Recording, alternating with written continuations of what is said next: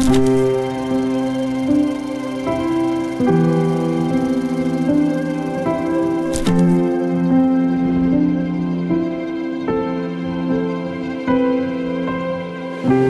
to, co różni Jezusa od innych przywódców religijnych, to to, że oni poumierali, a ich szczątki gdzieś tam są złożone w grobach.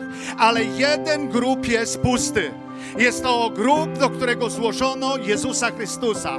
On żyje, zmartwychwstał i oddajmy Mu wielkie brawa. On tutaj jest razem z nami.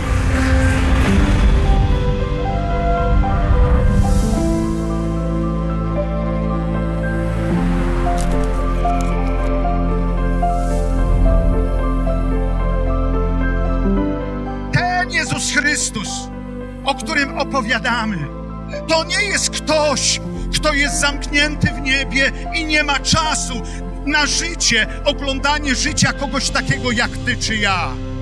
Może znajdujesz się w miejscu, w którym potrzebujesz pomocy. Może nawet już z nikim o tym nie rozmawiasz, bo wiesz, że i tak nikt nie jest w stanie Tobie pomóc. Mam dla Ciebie dobrą nowinę. Jest ktoś, kto może to uczynić. I On jest dziś na tym festiwalu razem z nami.